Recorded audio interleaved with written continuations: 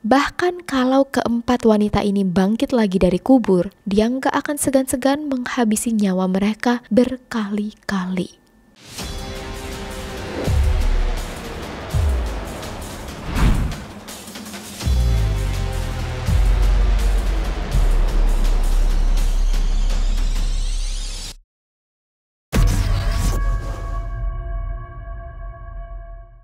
Cerita bermula di tahun 1979 saat ada dua keluarga di Afghanistan yang menjodohkan anak mereka.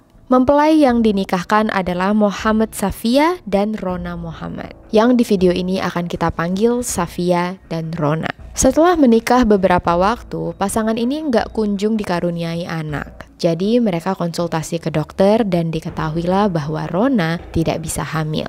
Semenjak itu, Safia memperlakukan Rona dengan sangat kejam.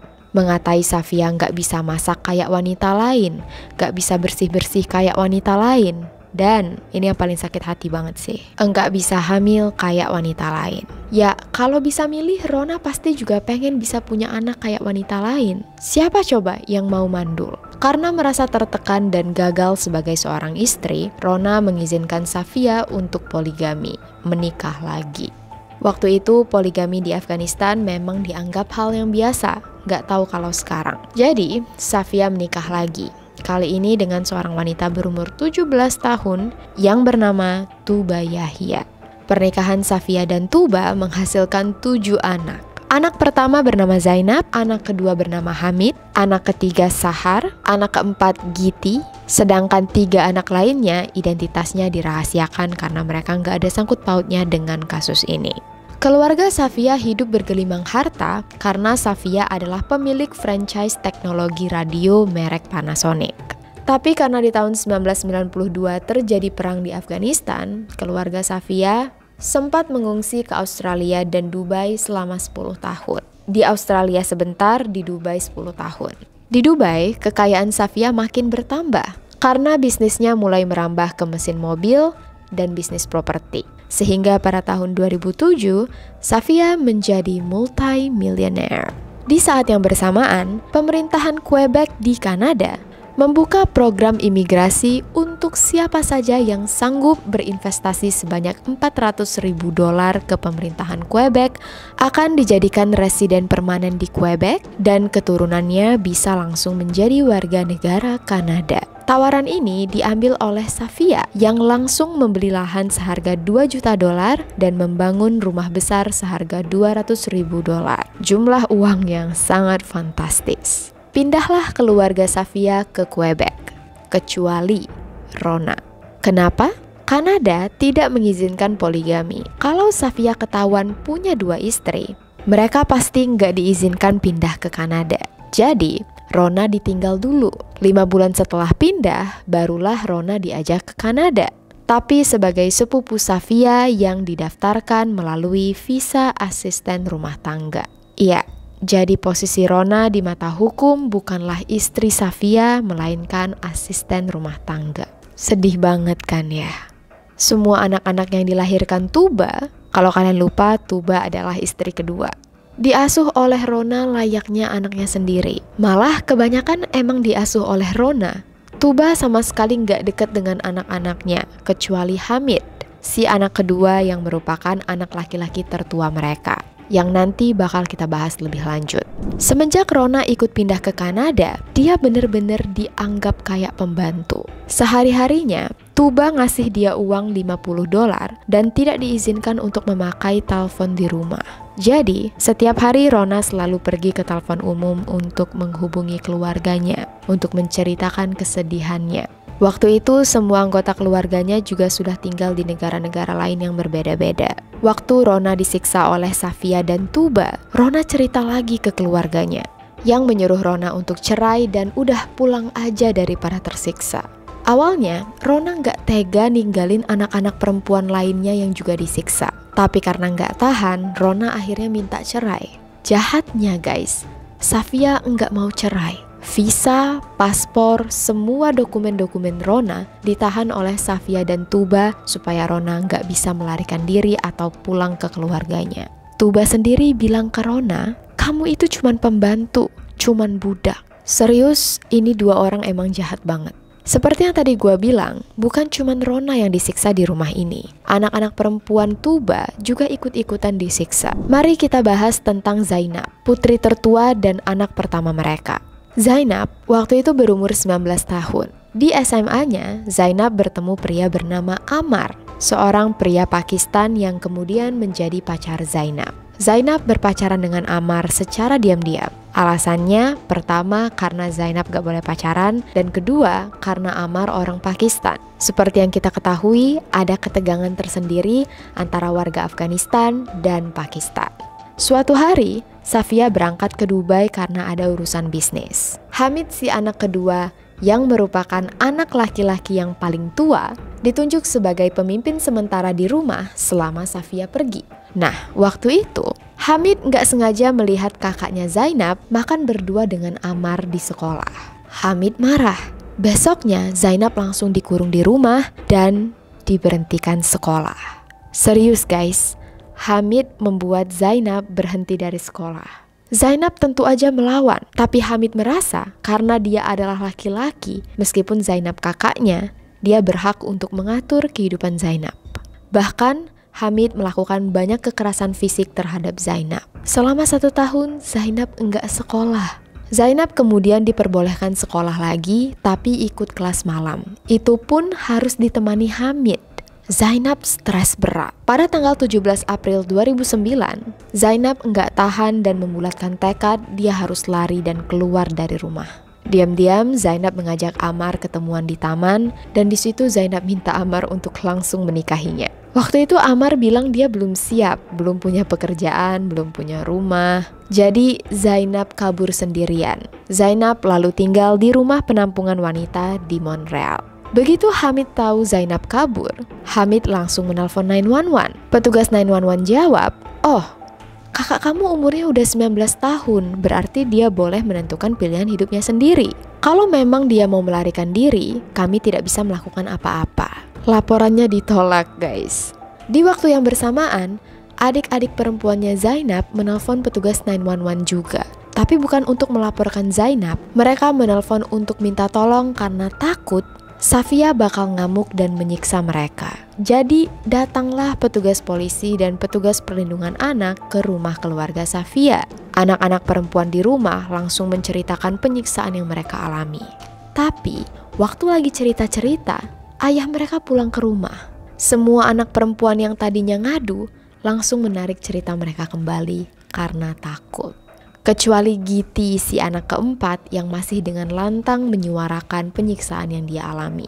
Yang nantinya bakal kita bahas lebih lanjut. Sayangnya, polisi dan petugas perlindungan anak tidak mengindahkan laporan Giti. Karena anak-anak yang lain menarik kembali cerita mereka, ya udah gak diurusin lagi. Padahal ya, laporan ini tuh udah aneh banget. Anak-anak udah minta tolong, telepon, cerita, pas ayahnya dateng langsung merubah cerita, udah pasti ada sesuatu yang aneh kan? Tapi ya itu, sayangnya mereka tidak dibantu. Balik lagi ke cerita Zainab. Setelah ditelusuri, Safia akhirnya berhasil menemukan Zainab di rumah penampungan wanita. Untuk merayu Zainab kembali ke rumah, Safia dan Tuba janji mereka akan menikahkan Zainab dengan Amar, bahkan membiayai pernikahannya. Zainab akhirnya luluh, dia mau kembali ke rumah. Dilangsungkanlah pernikahan antara Zainab dan Amar secara tertutup. Tapi masing-masing keluarga kelihatan banget gak rela, karena lagi-lagi masalah Pakistan dan Afghanistan. Gak ada yang merestui. Bener aja guys, belum sampai 24 jam setelah menikah, Zainab dan Amar bercerai.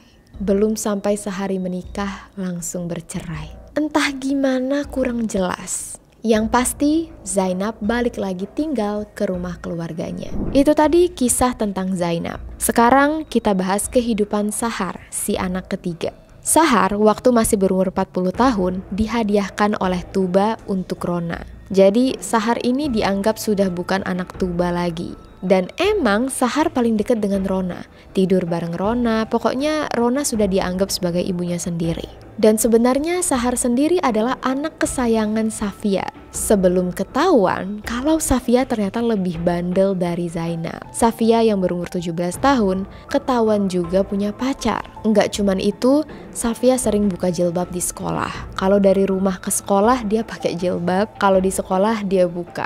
Dan semenjak melakukan banyak hal-hal bandel, Safia juga ikut disiksa. Nah, Safia sangat frontal. Dia cerita ke gurunya tentang apa yang dia alami di rumah.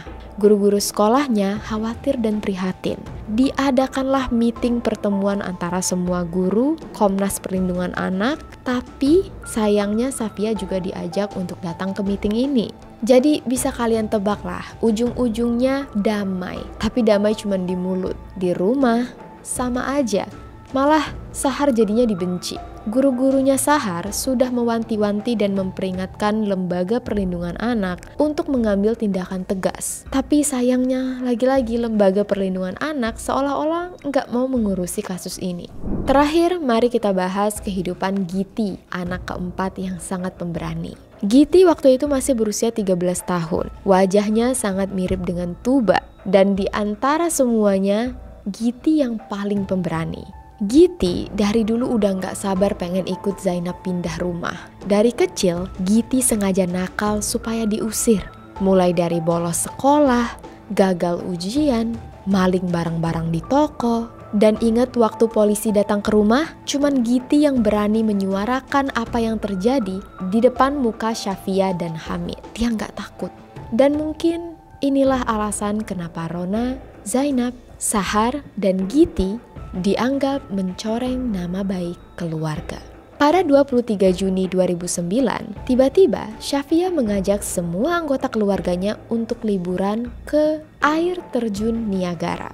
Anehnya, sehari sebelum berangkat, Syafia membeli mobil baru yang kemudian dipakai untuk pergi liburan.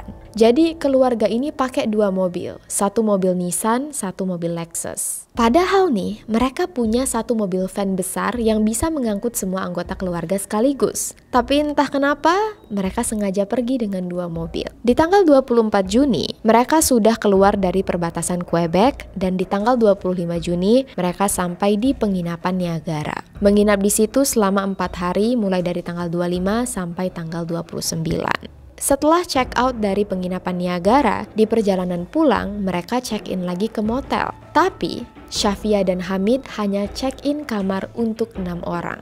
Ingat guys, keluarga ini terdiri dari 10 orang.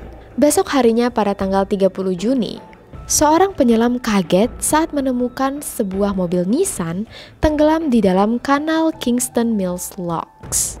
Di dalam mobil Nissan ini ada empat wanita. Mereka adalah Rona, Zainab, Sahar, dan Giti. Karena ketinggian air di dalam kanal hanya 2 meter, polisi yakin waktu mobil jatuh, keempat wanita ini sudah dalam keadaan tidak sadar. Karena kalau sadar, kayaknya mereka masih bisa lolos dan berenang menyelamatkan diri. Awalnya, kasus ini memang dianggap sebagai kecelakaan biasa. Tapi secara kebetulan, mobil Lexus milik Safia yang satu lagi mengalami kecelakaan juga. Bagian depan mobilnya pecah polisi mulai berpikir, kok bisa? Kebetulan banget, bagian belakang mobil Nissan yang tenggelam juga kelihatan ada bekas ditabrak. Polisi curiga, jangan-jangan mobil Lexus ini sengaja mendorong mobil Nissan sampai terjatuh ke dalam kanal.